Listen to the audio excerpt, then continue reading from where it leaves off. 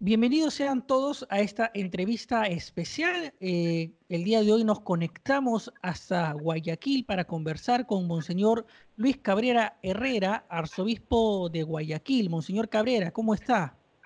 Muy buenas tardes. Pues aquí en medio de esta tormenta, tratando de mantener la paz.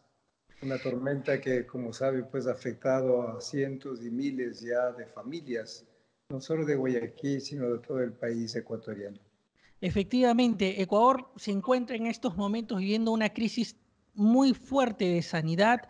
Eh, de hecho, es el segundo país de Sudamérica con el mayor número de infectados y lamentablemente también fallecidos.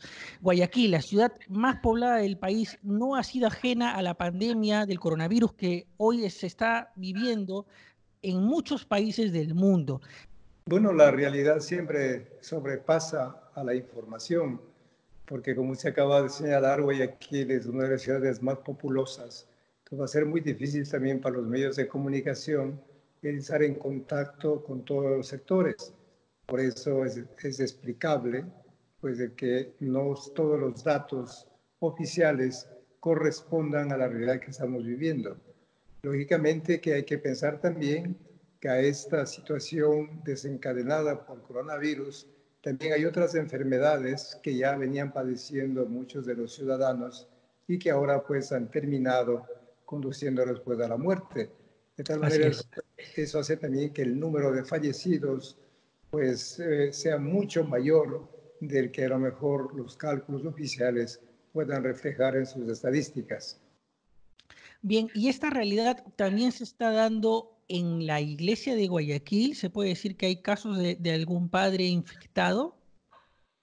Bueno, al menos hemos tenido ya dos casos. Uno que murió con sospecha de que haya sido contagiado. El segundo caso, sí, en cambio, tenemos evidencias de que lamentablemente fue víctima del coronavirus y que falleció de ayer y que hemos tenido que ya sepultarlo cuanto antes. Bien, e, e, esta es una situación extraordinaria que, como iglesia nos interpela y precisamente la iglesia ecuatoriana, la conferencia episcopal ecuatoriana, se ha pronunciado recientemente en un comunicado en el que llama desde el dolor a construir la unidad y hace un pedido muy especial para cesar la confrontación y dejar de lado los intereses particulares en beneficio de la unidad nacional. ¿Nos comenta un poco este comunicado, el, contexto en el que se da? Bueno, es un ambiente donde todas las instituciones estatales, sociales, todos los actores sociales, políticos, pues tienen que dejar de lado esas confrontaciones, como señala el documento, de carácter político. No se puede en nombre de unos intereses personales o partidistas, poner en riesgo mucho más de lo que el Ecuador está viviendo.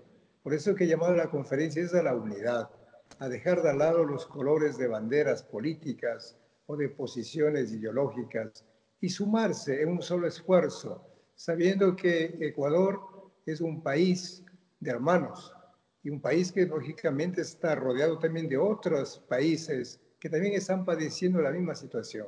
Por eso es llamado a la unidad, a la solidaridad, para que todos los ecuatorianos, sintiéndonos responsables, superando los regionalismos, entonces orientemos todas las fuerzas, y cuando hablamos de solidaridad, orientar las fuerzas para obtener alimento, que es lo que necesitamos, medicinas, objetos de limpieza, de tal forma que nuestra gente, especialmente las que están ubicadas en las zonas marginales, tengan con qué alimentarse, con qué curarse. No basta quedarse en casa si es que no tienen un pan para comer.